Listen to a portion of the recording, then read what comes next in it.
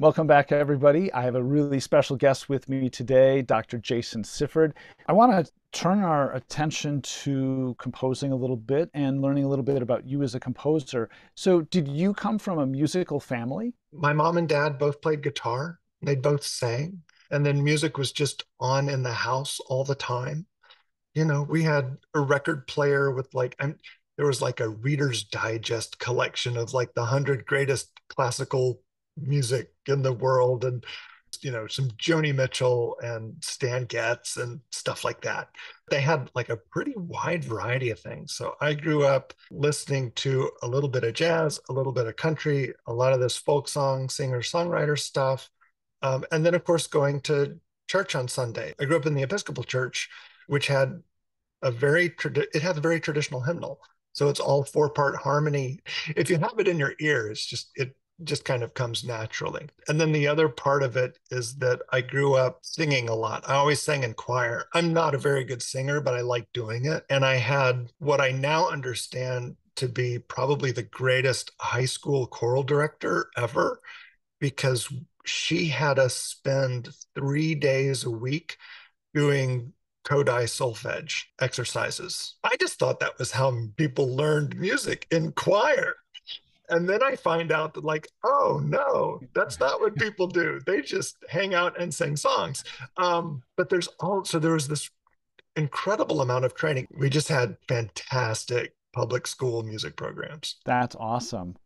How and, and when did you start composing? When I was a kid, I was a bad reader, but I had a good ear.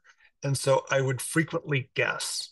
So if some if my teacher gave me a piece, I'm that frustrating student who would come in and play something that sounded good but was totally wrong. And so in my mind, I think that's a form of composing. Do you know what I mean? I'm just I'm just making it up. And yeah, when you make up Mozart, your teacher's not going to be really happy with you. I'm laughing and smiling because I was so relate to everything that you have just yeah. said. It's like, oh, you are telling my life story here. So yeah. that's awesome. And then the other sort of thing I was going to say is just like when I started teaching, I ended up with, you know, students who I just couldn't find a piece for. And so I would sort of write something out for them to do. I discovered that this is apparently what Bach did. That's what those little notebooks are.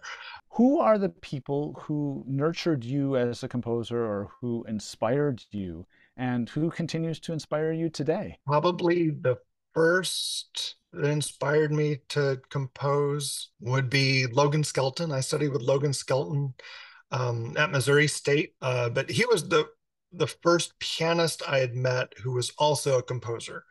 Uh, and he would play some of his own works every now and then. I just found that very inspirational to see that you know that that composer pianist tradition is still very much alive. And then next, when I got to grad school, um, Joanne Smith, who was the pedagogy professor and my advisor at Michigan, really kind of encouraged it. You know, she herself wasn't a composer, but she was around like all of the people in, in the Frances Clark orbit. And so she was the first person that I came across that was like, well, if you've got an idea, then you just write it and then you just publish it and then it's out in the world.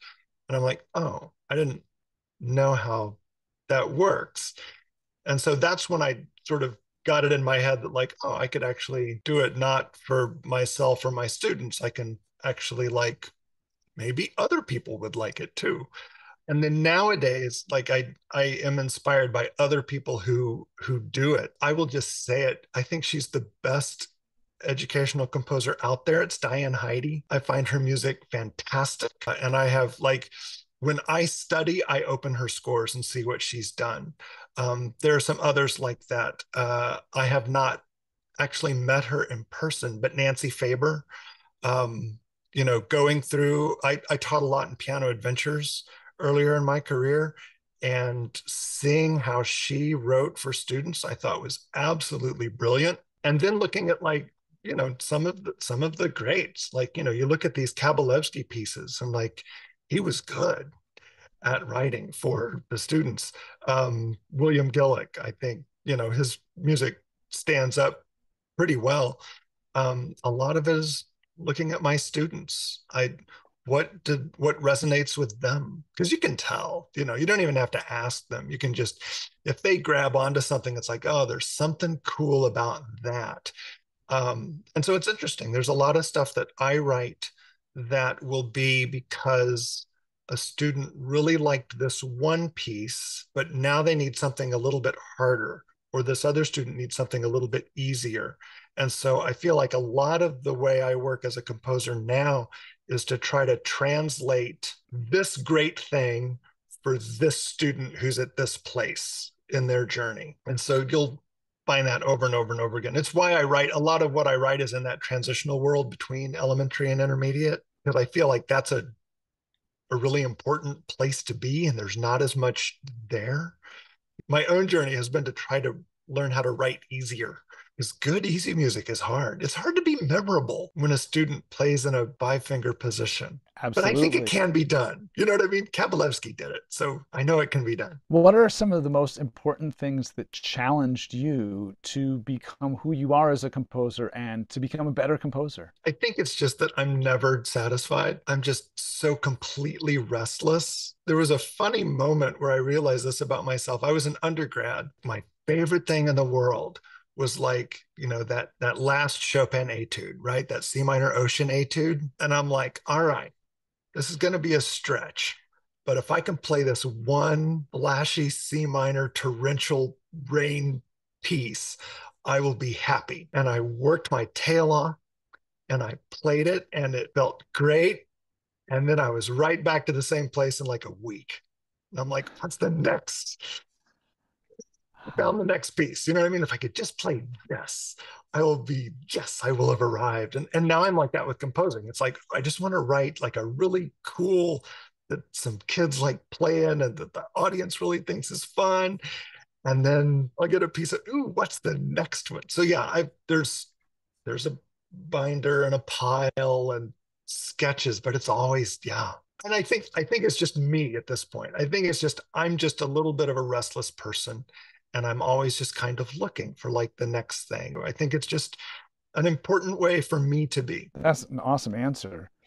So your compositions are really varied and there's a wide variety in all of your pieces but they also have these defining characteristics how did you go about finding and developing your unique sound as a composer? I think the funny thing is, so when I started writing, I was always writing in other styles. So I was writing like jazz pieces, and it'd be like a blues piece or a swing tune or a jazz waltz.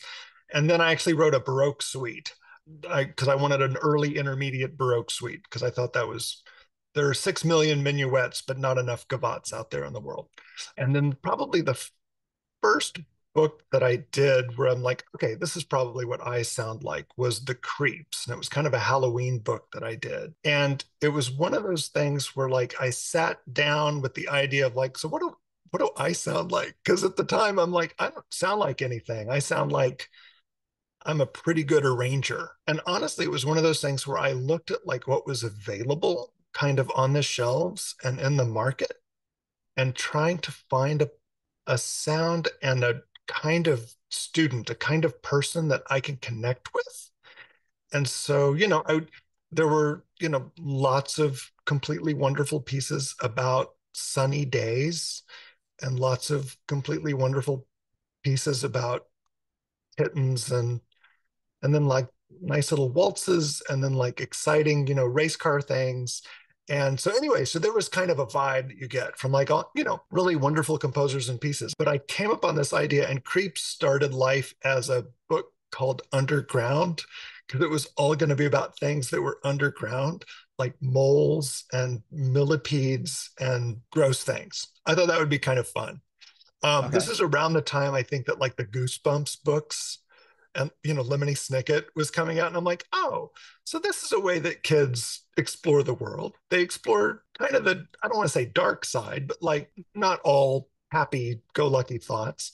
And i'm like maybe there's something in there for me. And so that was kind of my point of entry. And then it turned into a halloween book and then people really liked it. And it was something that i really enjoyed and felt comfortable writing and also something that I felt that I could do that didn't like duplicate what other people were doing. It goes to what I was saying earlier. Like, I really want to respect people's time because if they spend time with their music, it's they're also not spending time with other things. And so I just I feel, I don't know, a sense of obligation to give people something that they need and maybe can't find elsewhere. That's excellent. Where do you seek inspiration for your compositions? I devour enormous amounts of music. I listen to a lot. Um, and I try to listen to a lot of different things, slightly obscure things, but are still really interesting. So I have that going on. Um, and then I listen to a lot. You know, I I went through like a Tom Waits phase where he has this album called Alice, which is a really interesting kind of take on the Alice in Wonderland thing. I do, like I said, I do a lot of musical theater. So we just got done playing a, a Sondheim revue a couple of weeks ago. Um, I did Little Shop of Horrors last year, High School Musical. But it's interesting because all of this stuff I feel like just kind of goes in my brain, and then just because of the way I am, it it has to go out. So I sort of get in these input modes and then I get in these output modes. And so part of the fun is, you know, writing a piece that will pull like from these different ideas and places and then try to, you know, create a little world where they get to live side by side. Excellent. What are some of the attributes that you feel help people to become successful composers? I think it's going to sound weird. I think you kind of got to know the rules because I think composition is a lot about, well, it's a little bit like painting. Do you know what I mean? Like if you want to paint a really nice landscape that's special and important to you, and if you want other people to understand it, then you kind of need to know how a tree is constructed. And so I love the idea that painters will like study, you know, how trees are structured or you know how what the shapes are in the human body or how this works and that works. I remember i used to team teach a class with an artist and he would talk about how artists see the world and they don't see the world as like necessarily a person. They'll look and they'll see like so there's a circle and then kind of a rectangle and then a trapezoid and then you know and they find the the beauty in filling out and decorating that structure and so I feel like composition is much the same. You, you have to f- start with some kind of structure that you're very, very um, familiar with and very, very comfortable with. And then you take that and you do interesting things with it and to it. And I think that's what really connects with people. I think you stop, I think it's difficult to connect with people if you miss one part of that equation. Like if you don't have a structure, then there's nothing to really hang on to. And like, you know, I think we've all had the the experience of like if you go to a concert and somebody's playing something and you don't know the piece, if you don't know how long it's going to last, it's kind of difficult to listen to because it's like, so is this going to last 5 minutes or 20 minutes? Like I don't I don't know how to engage with this experience. But, you know, I love it like in programs. Like if I'm listening to something and it's like you know variations and then they like list all the variations and then it's kind of fun to like watch how everything goes through. I think that's really really great. So i think structure is important and of course the other thing is like you can't just have the structure because then you've written basically a copycat of thousands of other pieces out there. So and that's i mean for me that's incredibly difficult but the most fun. Um and I think when you find that sweet spot, it can be find things that are pretty special. I think that's excellent. What advice do you have for aspiring young composers who want to try to emulate your success? I just write stuff and play it and have other people play it and then put it out there. Like there's that wonderful book by Austin Kleon called Share Your Work. I think he did another one called Think Like an Artist, but like the advice in there is is better than any I could give. But it it really is that. It's it's right, try to get better, whatever better means to you, do that and then put it out there and see what happens. And then you know, you have to think about what success actually means. Like I still don't really know what it means. Um, for me, it's that I seem to continue finding opportunities to do it and reasons to do it and places to put it. So for me, that's kind of what success is. for others it may be completely different i know i know people who consider themselves fantastically successful because they write pieces that don't get played much but maybe have been played in an extremely important venue in their community you know what i mean there's something really special for their middle school for their orchestra in their area for a concert that they give um, themselves. Uh, i know other people that success for them honestly is financial. And so they're trying to find a way to like write a bunch of stuff and then market it and then you know create communities around it and people that are really excited. And part of it is about the music but then part of it is about the community and having all those experiences happening out into the world but yeah just i, I think people should just try just do stuff those are great answers though those are really wonderful what role do restrictions play in your composing? I mean, for me, restrictions are everything. I love a good rule just because I love the challenge of it. Um, my my latest passion project is I write the music for a musical theater camp uh, that we do here in town. But it's fascinating because I have so many restrictions placed on me. Somebody else writes the script and the lyrics, and then she hands them off to me and I have to write something that fits that and that a bunch of 12 year olds can sing. And it all has to be learned in a one week half day camp. Whoa. And I'm producing the tracks for it. So it has to be stuff that I can actually like do a mock up. You know what I mean? Like in a in a DAW or something. So and I I I love it to death and I spend hours and hours and hours on it.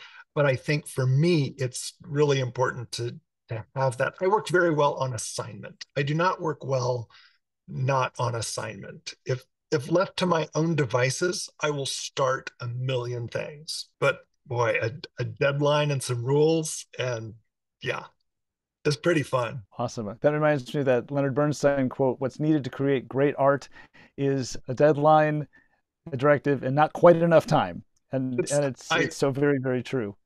I live that quote so much more than I wish I did. Well, thank you so much. I really appreciate your time. I hope you have a great rest of your day, Jason. And um, I'll look forward to meeting you this summer. Thanks, Sam.